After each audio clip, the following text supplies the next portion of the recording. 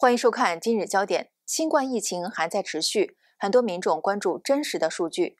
目前，山东医院一份内部文件曝光，显示实际的确诊人数是官方对外宣布人数的数十倍。其中，二月十八日，中共公布当日新增病例是一例，但是实际的数字是五十二例，实际的数字是对外公布的五十二倍。随着疫情扩散，国际社会也在蔓延。韩国近日来确诊的病例激增，韩国周二宣布新增了一百四十四例确诊的病例，累计已经达到九百七十七例。韩国政府对于新冠肺炎的级别调整到严重级别，韩国的幼儿园、小学和高中开学延期一周，甚至本周国会都被取消。街道上人群明显的减少。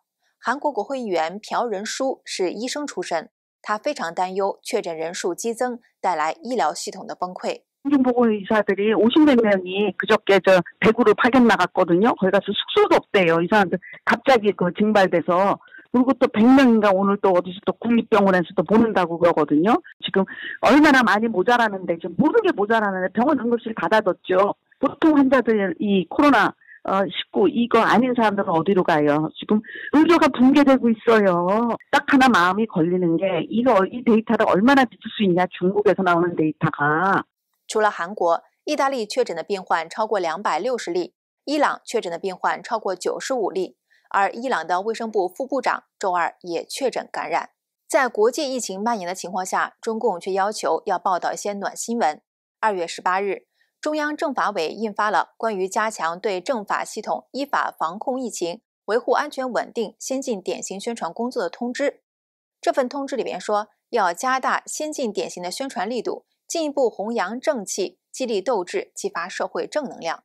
要挖掘动人事迹、鲜活事例，推出更有温度、有泪点、有人情味的暖新闻。通知里边还说，要善用新媒体平台，比如说像微信、抖音、快手等等。日前，人民日报官方推特发布的一段视频引发民众热议。视频里边显示，二月二十一号，安徽宿州防疫医护人员为送走六个治愈病人出院而感到开心，在医院门口跳起天鹅舞来。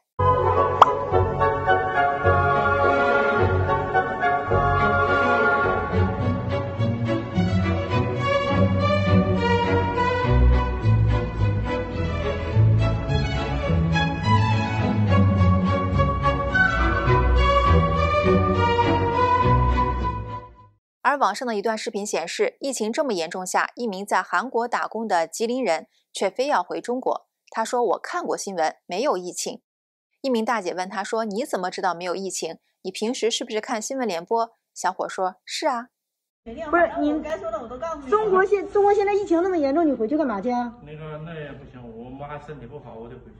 那你家住哪儿啊？啊，我家是吉林。你你不害怕吗？马上要沦陷了。马上你不害怕吗？中国疫情那么严重。不害怕。不害怕呀？没事啊。没事没事。没事啊？你你这你怎么知道没事的？啊？你怎么知道没事的？我家那边现在没有，我家没有口的。你家没有口的？都没口。没有。那你你从哪儿听说的没有？啊？你从哪儿听说的没有？没疫情。没有疫情。我们那天天报啊。你听新闻联播呗。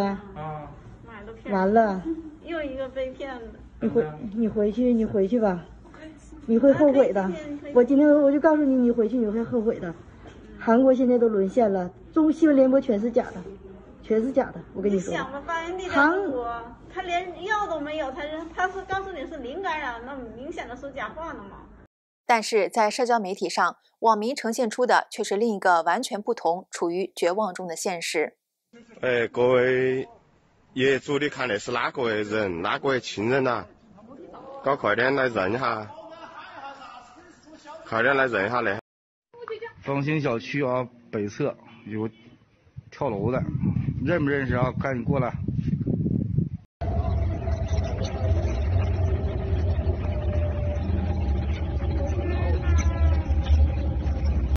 大家都看看，这都是上海的厂，都是套路，都是坑，来了也进不了厂。钱也花完了，口罩也用完了，家也回不了，都不要来了啊！上海的厂都不要来了。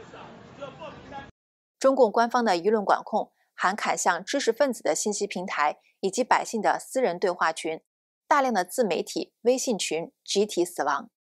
二月十九号，腾讯旗下的自媒体平台大家被执行了死刑。这里集中了很多中国自由派的知识分子。这个平台突然显示账号自动注销，内容无法查看。大家被封前发表的最后一批文章包括《武汉肺炎五十天》，全体中国人都在承受媒体死亡的代价。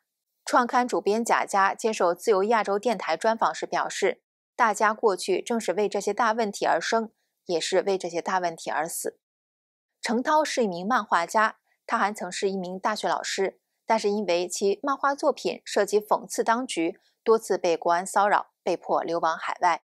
他画了很多关于中国话题的作品，其作品被很多人关注。最近，他发推文说：“对不起日本，对不起韩国，对不起意大利，对不起伊朗，对不起全世界。我家仆人作恶，作为主人，我们被奴役，被封口。不但我们自己受累，还牵连你们了。”